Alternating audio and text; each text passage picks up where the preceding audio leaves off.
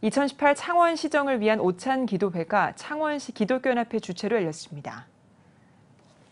창원시장과 시의원, 창원 지역 목회자가 참석한 예배에서 창원시 기독교연합회 대표회장 김성권 목사는 하나님께서는 꿈이 있고 신앙과 인격을 갖춘 사람을 쓰신다며 하나님께 쓰임받아 거룩하고 깨끗한 창원시를 만들어 달라고 말씀을 전했습니다.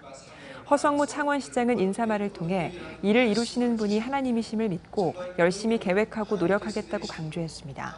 이부 기도회에서는 창원시의 발전과 교회 부흥을 위해 함께 기도하는 시간을 가졌습니다.